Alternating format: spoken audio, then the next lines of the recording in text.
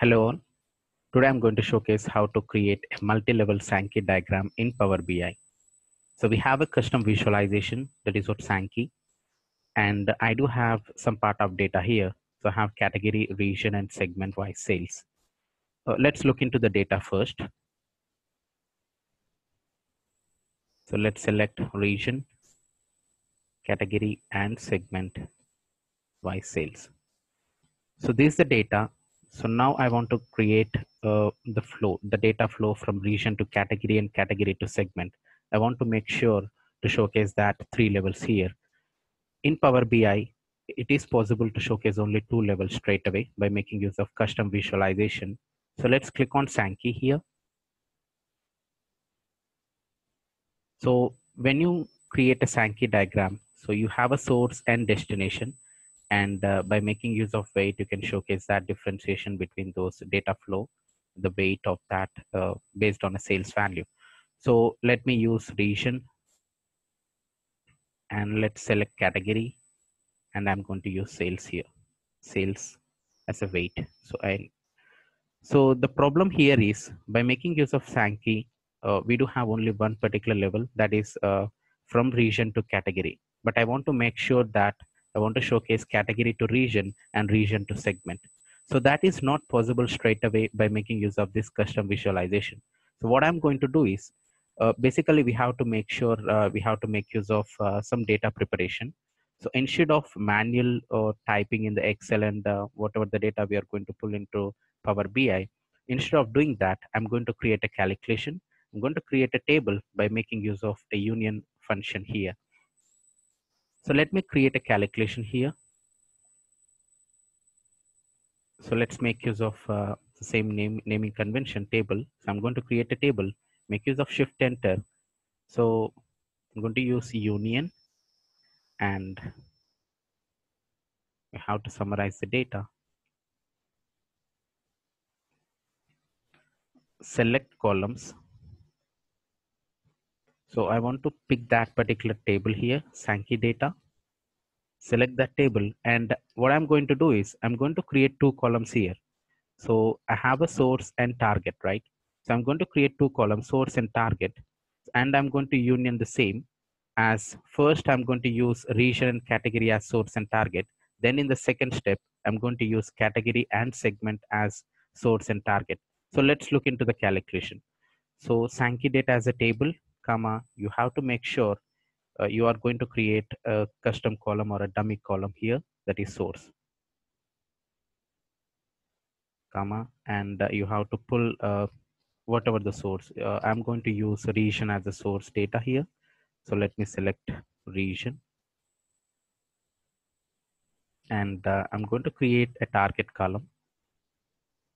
Target and I want to use category as target column. So data or sorry, um, select category.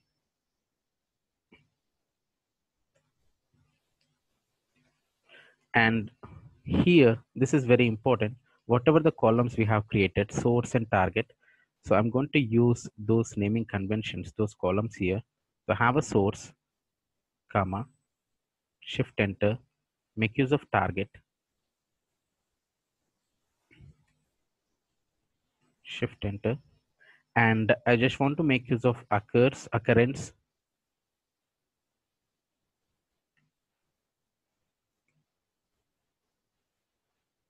and uh, I'm going to use count of sales here. This is not mandatory, but uh, we can make use of the uh, number of occurrences. So make use of shift enter, but this is important. So I want to make use of sales column here. I want to make sure the proper data is coming uh, for this particular level.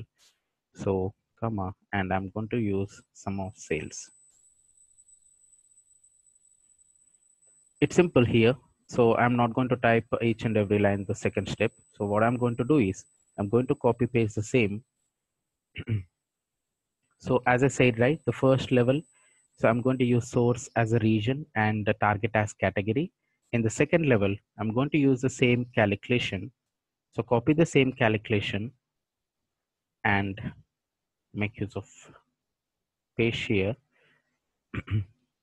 and summarize the same data. So instead of region, as I said, I'm going to use category.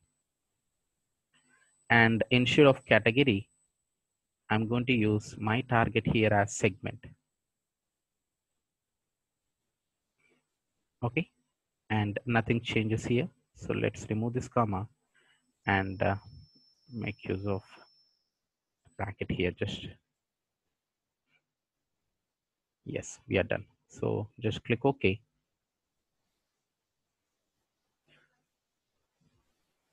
and uh, let's create a Sankey diagram straight away. So let's click on this and I have created this table. So let me use source and target. So make use of source and select target and make use of sales here. That's it. So this is a uh, this is a best chart where we can showcase the flow diagram here.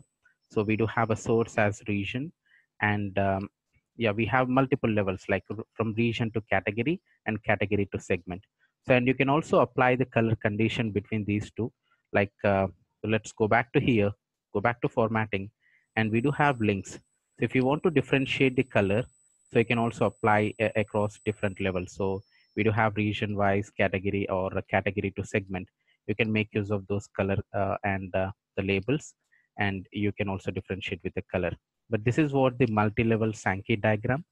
By making use of union, we have to uh, make sure that uh, all these particular order, like uh, whatever the columns we are creating, right? So make sure that source, target, and the you, you have to create sales as well. So I'm going to union this particular data uh, with region and category. Then in the second step, I'm going to use category and segment in the second step. So this is what the data preparation to create a multi-level Sankey diagram. Thanks a lot.